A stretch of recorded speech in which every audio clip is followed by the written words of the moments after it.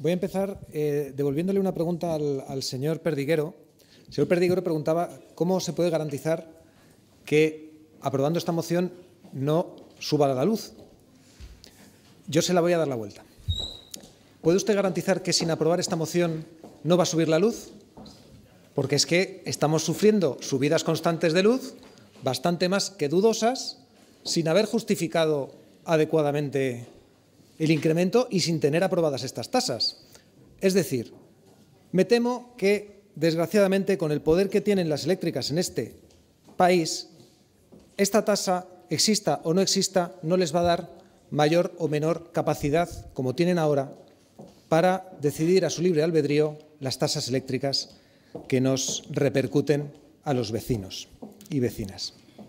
Mire, Endesa, Gas Natural Fenosa, Iberdrola son empresas privadas, privadas muy a nuestro pesar, empresas de las más poderosas de este país, de las más ricas y de las que tienen más beneficios.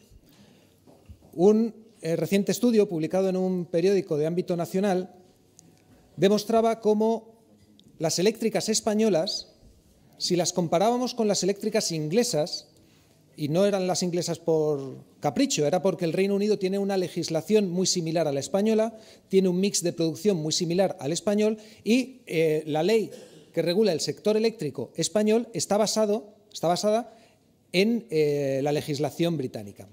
Pues bien, comparando a las empresas eléctricas españolas con las eh, del Reino Unido, se llegaba a la conclusión de que si estas empresas españolas estuviesen prestando servicio allí, ganarían en los últimos siete años más de 11.000 millones de euros menos. Es decir, tienen un sobrebeneficio las eléctricas españolas de 11.000 millones de euros en siete años si en lugar de estar prestando y cobrando la luz en España lo estuviesen haciendo en Inglaterra en igualdad de condiciones a como lo hacen las eléctricas inglesas.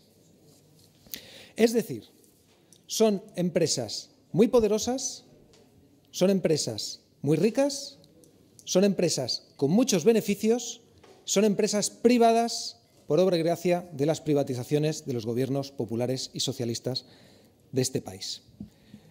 Son empresas que además siempre se creen salir con la suya, doblegando a los gobiernos de turno y premiándoles después con alguna que otra puerta giratoria, algún que otro cargo en los consejos de administración.